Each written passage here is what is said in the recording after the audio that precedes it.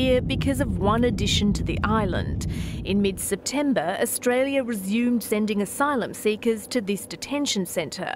About 400 men live in makeshift tents, but in the coming months, up to 1,500 people could be housed here. Just beyond the centre is a phosphate mine, a mineral that was Nauru's key source of income and that made it one of the richest countries in the world in the 70s. But the primary deposits dried up the revenue squandered. Isolated and with limited natural and human resources, Nauru was left with one of the highest unemployment rates in the world. Some reports suggesting as many as 90% of people were jobless. But since the detention centre opened, more than 100 locals have found work. Others, such as Sean Oppenheimer, are indirectly benefiting. Sean runs the only supermarket on the island. He says when the first detention centre opened in 2001, it helped revive Nauru's desperately fledgling economy. Things were very tough, um, business was very slow, and uh, you know, uh, I believe the, it was one of the best things the government of the day then um, brought to Nauru. It was a good thing.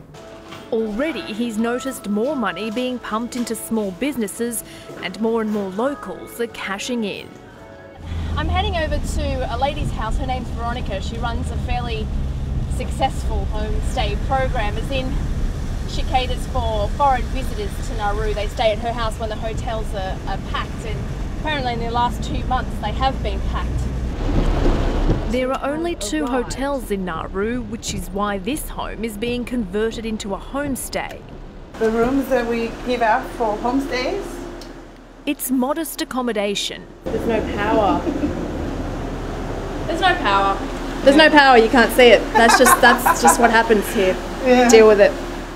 Despite that, business is said to be booming because there are few options. It's been busy with all the um, media people, the consultants from environment, they didn't know where to stay, so I had to make arrangements with even other families. Residents not only rent out homes, but vehicles and services too.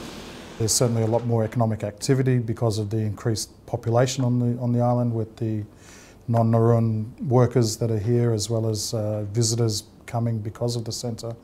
Um, and there's a, just a general increase in throughput of, of goods and, and services. How long the centre will be here is not yet known. Neither is its overall cost.